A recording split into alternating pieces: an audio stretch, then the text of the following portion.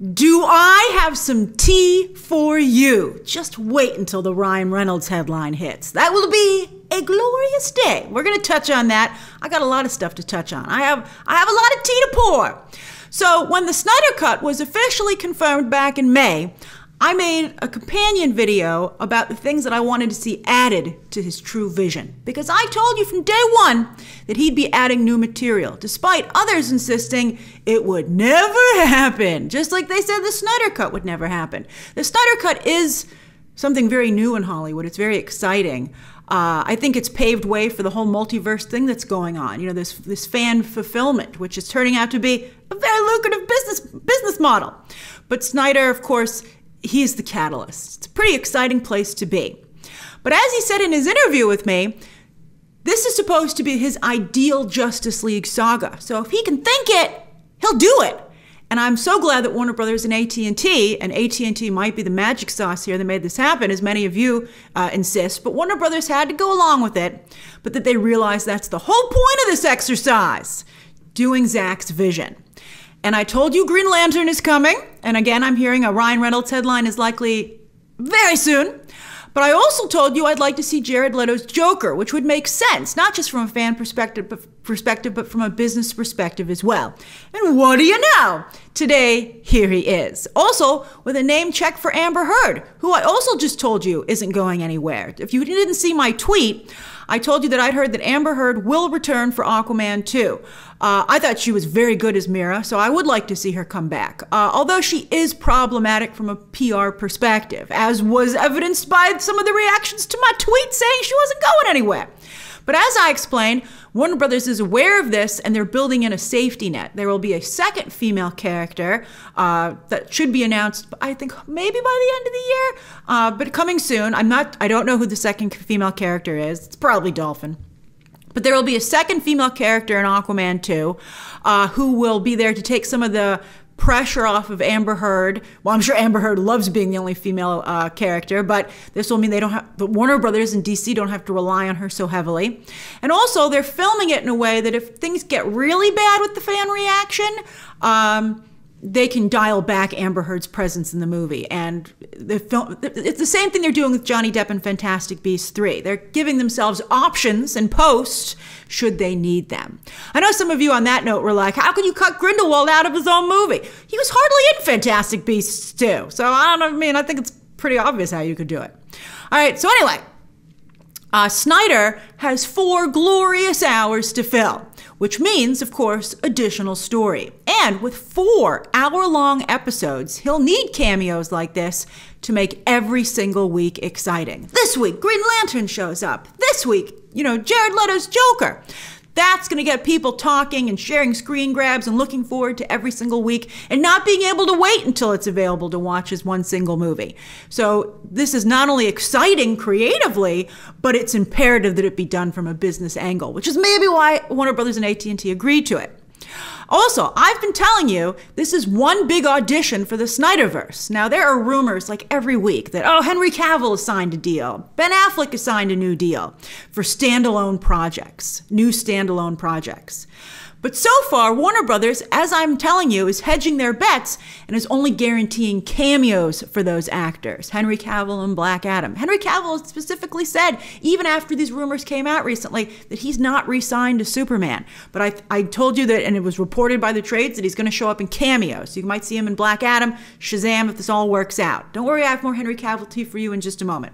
But of course, Ben Affleck is showing up in the Flash movie, which we'll discuss also in a moment in more detail. But let me give you that uh, Henry Cavill tea. So I've also heard that J.J. Abrams is poised to take over Superman. That's the whole reason Warner Brothers made a deal with him. They were like, "And you'll do Superman, right?" And I think with his Spielbergian as- the Spielbergian aspects to him, and you know what? I think for all of our problems with J.J. Abrams, you have to agree that from a business perspective, he does deliver. The first Star Trek, well, you know, I told you how I felt about it. I think he does a great beginning, but he doesn't lay a strong enough foundation to build on. And you saw that with Star Trek, and you saw it with Star Wars. But they made a lot of money, so he's going to try again with Superman. So I heard that J.J. Abrams has met with Henry Cavill, but he's waiting to see how the Snyder Cut does before he decides if he wants to continue with Cavill or recast a Superman of his own. So, yet another reason for you to make sure you watch this thing and talk about it.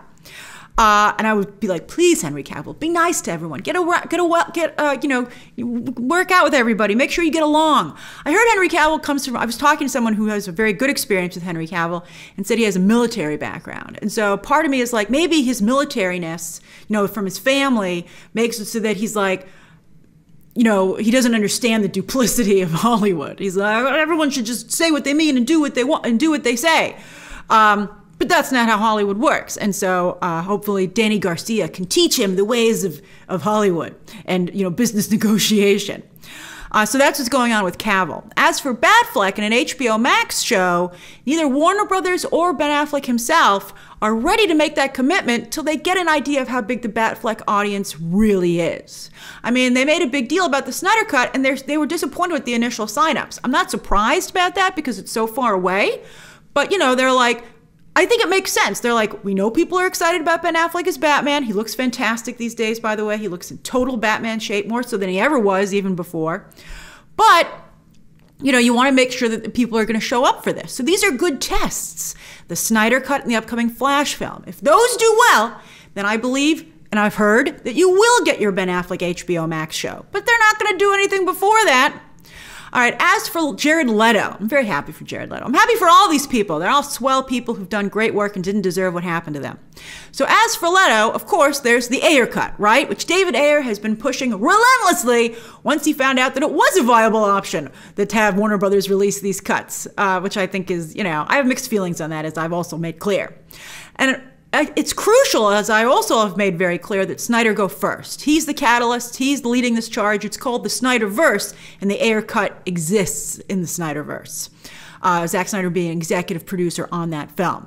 So I know that some of you argue that the Suicide Squad was supposed to be a prequel to Justice League, so it should come out first. But those elements, and David Ayer admitted this, were never filmed. They never made it past the script stage. So even if he were to do his original cut, it still wouldn't be a Justice League prequel. So it can come afterwards. And I think we'd all like to see it, specifically for Leto's performance, which was obviously massacred in post. I mean, it's clear, not just because they are missing shots that we all want to see, the tuxedo with the grenade, where is that? But also, you can just tell that the performance is missing giant chunks. I've also commented on how Ayer didn't do a great job supporting Leto creatively. They just weren't a match. It's not a knock on either of them. I mean, maybe it is a little, but it's not, you know, uh, let's, you know, officially, it's not a knock on either of them. And I think that, you know, Leto just didn't get the support that he needed. And as a result, in some of his scenes, he seemed a little bit lost. So Snyder is a much more meticulous director. He plans things out very carefully instead of David Ayer, who's like a let's see what happens type of guy. So Leto, although I do think that David Ayer deserves credit for how effectively he redesigned the Suicide Squad. You know, you might love it or hate it, but it definitely made an impression. Has been very and has proven to be very popular. So anyway, I think that Leto teamed with Snyder could go a long way to vindicating Leto's Joker. And that's really what the Snyder Cut is all about vindication. That's why it's such a compelling story. That's why it's such a compelling, you know, narrative, even, you know, behind the scenes. That's one of the major, I mean, it's become as legendary as a Hollywood story as it has a DC story, which is so cool.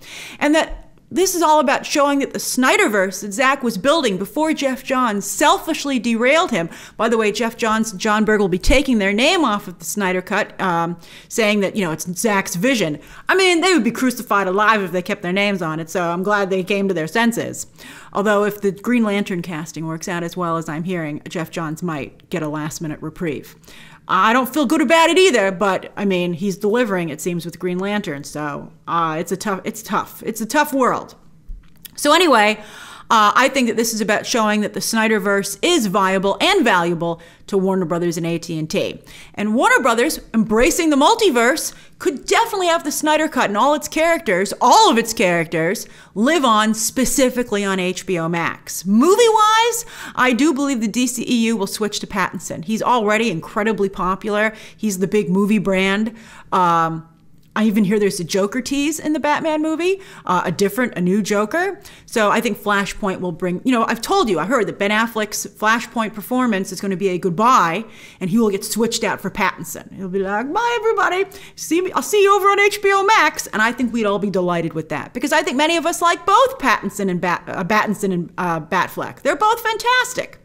So the only question mark really left right now um, is Henry Cavill's Superman, if he'll stay in the movies. He could, I mean, if they do a, a Ben Affleck HBO Max show uh, and a Snyderverse show, I wonder if Zack Snyder would continue with the Justice League story, if he would maybe do a Batman show.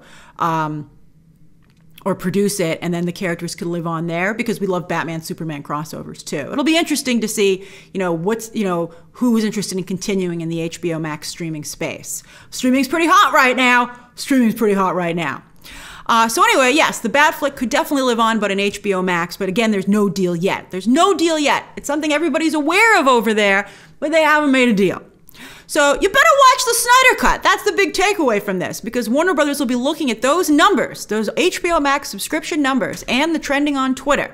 Like, does this trend every Sunday night or whatever night it airs? That's going to be crucial because they're going to deci- decide off of this if they're going to continue the Snyderverse story, which would include a bat, maybe could include a Batfleck series where Jared Leto's Joker continue, could continue as well, whether or not we get the Ayer cut, and also whether or not Henry Cavill stays on the big screen as Superman. That's all riding on this. It's really, it's an exciting time to be alive. Uh, I think it's going to be really interesting. And I, I suspect this stuff will do quite well, especially because Zack's being allowed to, to do his creative vision. And we all know he has a great creative vision. All right, so what do you think? Share your thoughts down below, subscribe today. And of course, as always, you can check out some more videos right now.